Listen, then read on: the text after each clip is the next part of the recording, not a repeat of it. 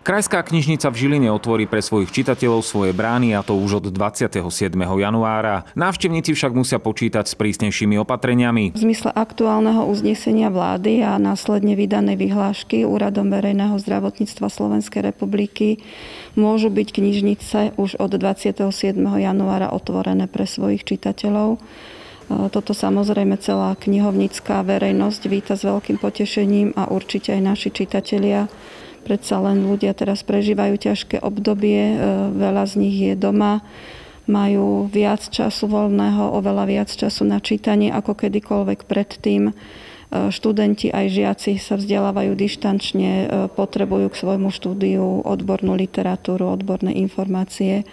Takže sme veľmi radi, že môžeme knižnice otvoriť pre našich návštevníkov. Opatrenia, ktoré budú počas otváracích hodín v knižnici platiť, počítajú s určitými obmedzeniami. Zatvorená bude internetová študovňa, čitáreň a detský kútik. Obmedzený bude aj počet osôb, ktoré sa môžu v knižnici pohybovať. Takže budeme otvorení v obmedzenom režime každý pracovný deň od 9.30 do 15.30 v tomto čase nás môžu čitatelia navštíviť a môžu si vypožičať knihy, ale stále dávame do pozornosti službu objednania dokumentu alebo rezervácie dokumentu, kedy si z prostredia domova môžu knihy buď cez online katalóg alebo mailom u nás objednať a prísť si ich vyzdvihnúť, aby sa predsa len v tom aj tom prostredí knižnici zdržiavali čo najmenej. Knižnica ponúka pre svojich čitateľov aj jednu malú novinku. Tá je určená predovšetkým starším ľuďom, ktorí sú nútení vďaka pandemickej situácii ostať doma. Pre tých čitateľov, ktorí z nejakých dôvodov nemôžu prísť osobne do knižnice, napríklad sú zdravotne ťažko postihnutí alebo sú v karanténe a chcú čítať,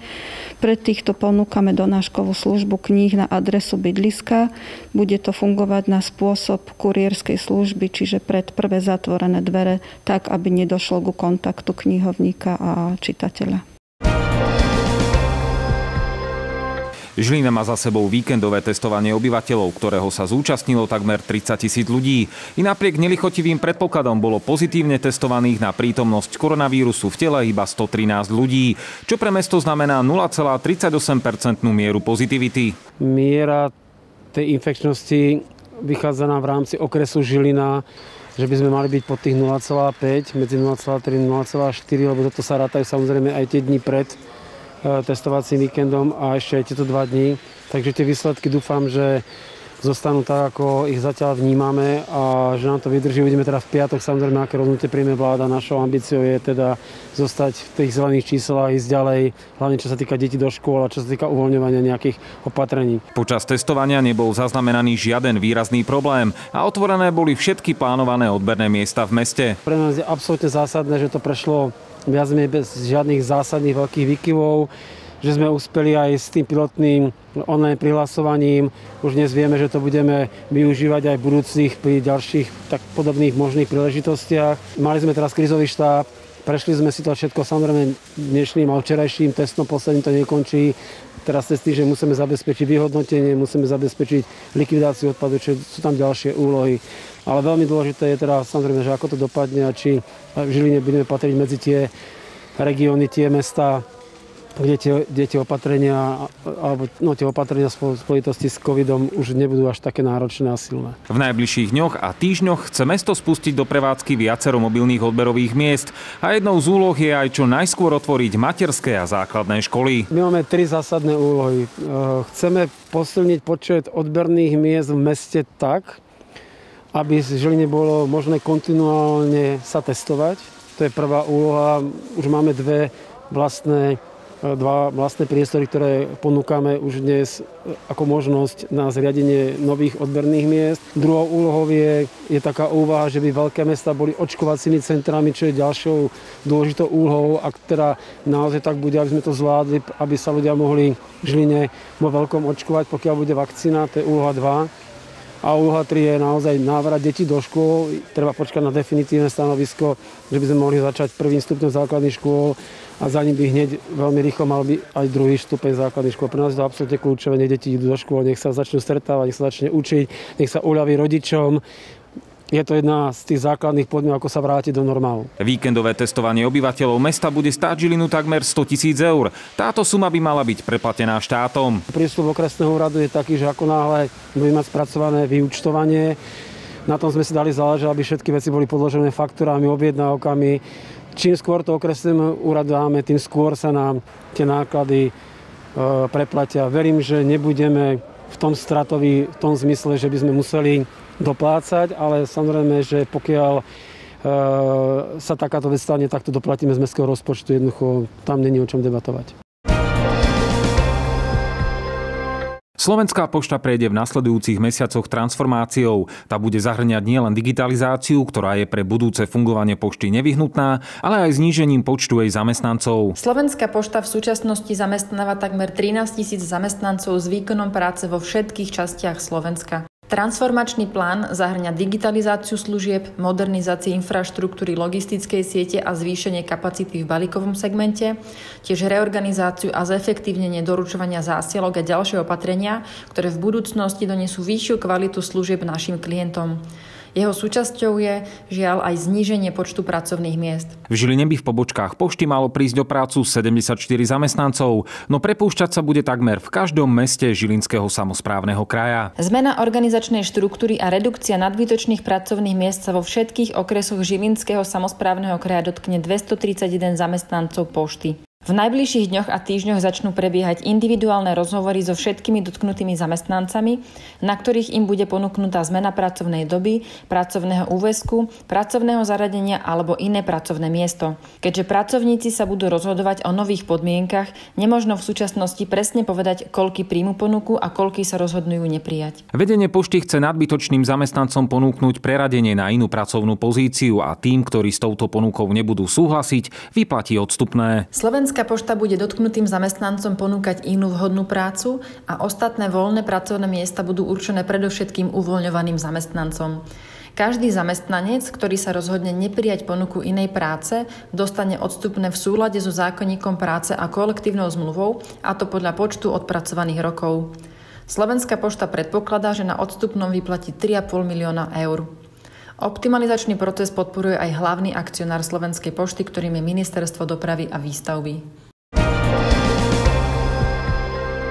Brány základných a stredných škôl sú už niekoľko mesiacov zatvorené. Prezenčná výučba bola nahradená dištančnou, čo kladie zvýšené nároky nielen na učiteľov, ale najmä na žiakov základných škôl, pretože online výučba nedokáže nahradiť interakciu v triede či vzťah medzi učiteľom a žiakom. No stáva sa, že pri takejto forme výučby, ktorá je pre žiaka náročnejšia, inklinuje k podvádzaniu, aby si udržal dobré známky. Myslím si, že žiaci niektorí vždy sa snažili hľadať nejaké ľahšie cestičky k tomu, ako čo najjednoduchšie získať čo najlepšie známky. To znamená, pri prezenčnej výučbe to bolo prostredníctvom vytvárania si ťahákov, či už papierovo, alebo písania si na lavice, posielania si sms a podobne.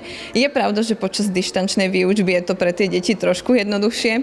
Stačí jednoducho vyhľadať informácie na internete alebo zavolať staršieho súrodenca alebo prípadne zavolať spolužiakovi, kamarátovi. Učitelia škôl od samého začiatku online výučby museli osnovy upraviť, aby odovzdali žiakom čo najviac vedomostí. Z tohto uhla pohľadu je preto náročnejšie pre učiteľov vytvárať také zadania, pri ktorých vlastne e, je dôležité podporovať kritické myslenie, divergentné myslenie a kreativitu a tvorivosť detí.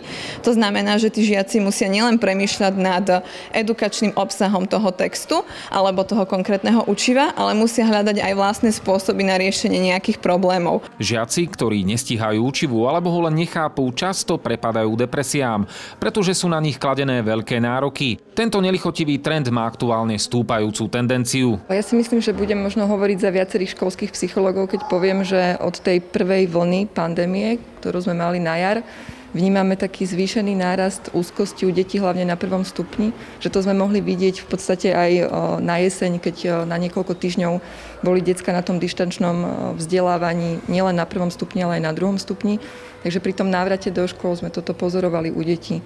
Také akoby väčšie strachy, ktoré sú spojené práve s tou koronakrízou. U žiakov druhého stupňa základných škôl sa začínajú objavovať depresívne stavy, ktoré vedú k seba poškodzovaniu a dokonca aj k myšlienkam na samovraždu. Preto by si mali rodičia viac všímať správanie svojich detí a v prípade náznaku či akejkoľvek zmeny kontaktovať detského psychológa. A ja ako školský psychológ som takisto prítomná na škole, takže keď treba riešiť niečo, aj čo sa týka správania alebo emocionálneho prežívania týchto detí, ak to vzdelávanie nezvládajú v tom domácom prostredí, že napríklad je to spojené aj s nejakým strachom, s úzkosťami, a, tak som tu vlastne pre nich aj ja ako školský psycholog, aby mali minimálne tú možnosť sa porozprávať o tých veciach. A takisto vždy im dávam k dispozícii množstvo kontaktov aj na linky dôvery, aby vedeli, že môžu kontaktovať, kontaktovať aj niekoho iného okrem školského psychologa. Psychológovia majú pre rodičov malý odkaz, ktorý im možno pomôže zvládnuť žiakov a ich psychický stav, keďže nemajú možnosť navštevovať svojich kamarátov či spolužiakov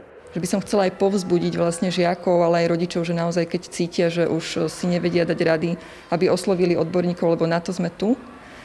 A možno, že niekedy naozaj stačí aj ten rozhovor s človekom, že porozprávať o tých veciach, ktoré ma ťažia a možno získať taký nejaký nový uhol pohľadu.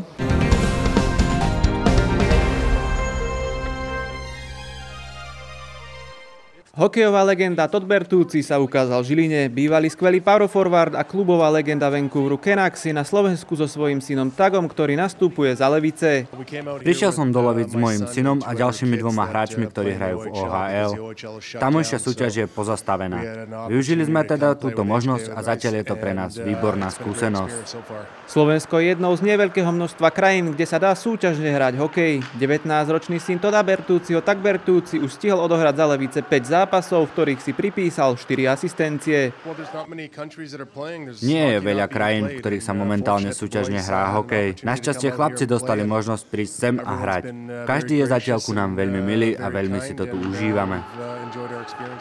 Dušan Gregor bol po príchode na lavičku Vlkov príjemne prekvapený kvalitou slovenskej hokejovej ligy. Tu vyzdvihol aj 45-ročný bývalý nekompromisný krídelník. Kvalita prvej slovenskej hokejovej ligy je veľmi vysoká. Hráči sú súťaživí, vidíme tu mix skúsených hráčov, hráčov v strednom veku a mladíkov. V našom týme máme taktiež 15-ročného hráča. Tempo zápasov je skutočne dobré, čo je prospešné aj pre našich hráčov.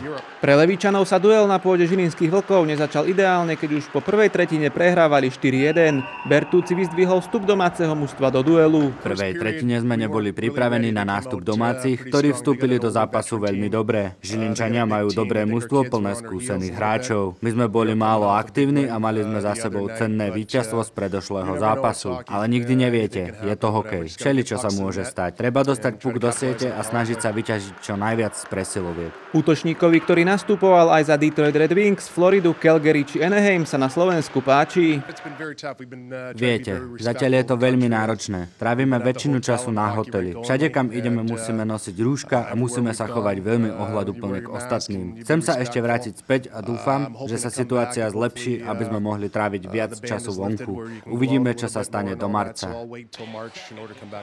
Todd začínal svoju hokejovú puť zámorskej NHL v drese New Yorku Islanders, kde si zahral s podľa neho najlepším slovenským hokejistom. Naopak najhoršie sa mu hralo proti Zdenovi Chárovi. Bertúci ho mrzí, že rešpektovaný slovenský obranca neukončí kariéru v Bostone. Najťažším slovenským súperom bol Chára. Mali sme spolu veľmi veľa náročných súbojov.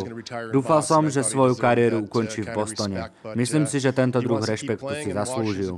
Chcel však hrať ďalej a myslím, že Washington mu bude sedieť. Je tam veľmi veľa dobrých hráčov. Najlepším bol však Žigo Palfi. Hrali sme spolu na Long Islande pod trénerom Trevisom Greenom. Sme odohrali spolu dve sezóny. Bol neskutočný talent. Malý chlapík, veľmi tvorivý a rafinovaný. Dokázal dať gól zo všetkých pozícií na ľade. Mal som veľmi rád jeho štýl hry.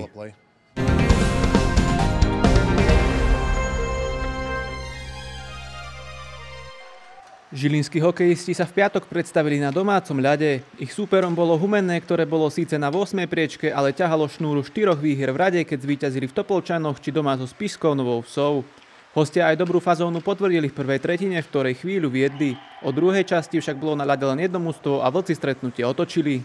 Tak bolo vidno, že super prišiel pozbudený jeho dobrými výsledkami a nakopol ich trošku aj ten gól hneď, ktorý dali, ale ja si myslím, že napriek tomu, že išiel do vedenia, že my sme jasne dominovali to v zápase a zaslúžene vyhrali. Takže ten, ten zábal mal z oboch strán slušnú, slušné nasadenie, slušný pohyb, slušné korčulovanie a ukázala sa tá kvalita na našej strane. Pre Žilinčanov to však nebol jednoduchý duel. V stretnutí si museli poradiť s absenciami viacerých hráčov. Ferry Skladaný je nie je trošku mal nejaké problémy s kršnou chrbticou, ale potrebovali sme mu dať oddychnúť. E, Malina je chorý, dá sa povedať, nie je dôvod, aby sme riskovali jeho stav. E, Dubec, Dubaň, e, Dubak, ten dostal, dostal do, kot, do kotníka, bol si ho na scéne, opäť není dôvod na to. Aj najlepší strelec domáceho mužstva Jakub Ciger po stretnutí vyzdvihol výkon s verencom Milana Staša. U Tomáša Urbana prevládali po piatkovom meraní síl pozitívne pocity. Ja si myslím, že na to, že Humene prišlo z takej diaľky, tak tú prvú tretinu veľmi dobre korčulovali, však aj dali prvý gól, dobre zahrali presilovku.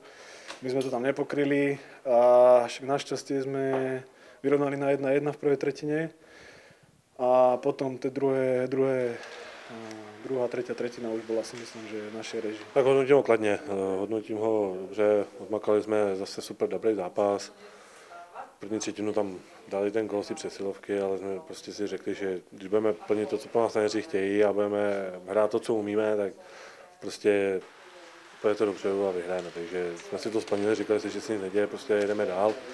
Hráli sme proste dodržovali to, co měli a prineslo to ovoce. Vlkom sa rýchlo podarilo na gól celku z východu Slovenska zareagovať. Urban potvrdil, že pred bránou mu to ide a po teči 203 cm vysokého útočníka nemal spodniak šancu zareagovať. Nie ako nacvičená, ale ako tak drťu, drťu poznám ze zámku a vím, že když on střílí, tak nemám problém stát před tou bránou.